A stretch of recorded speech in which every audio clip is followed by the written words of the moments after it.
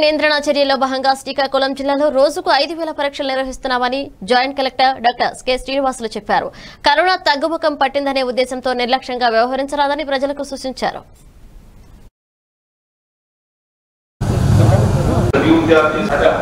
అది less than two percent ఖచ్చితంగా పడిపోతుంది. ముఖ్యంగా ఇప్పుడు మనం ఏం చేస్తున్నామంటే దాంట్లో భాగంగా ఏ రోజైతే కొత్త ఏరియాలో కేసు వస్తూనే ఎమ్మటే అక్కడ కనీసం ఒక ముప్పై నలభై టెస్టులు చేసుకుంటూ వాళ్ళని ఐసోలేట్ చేస్తున్నాము.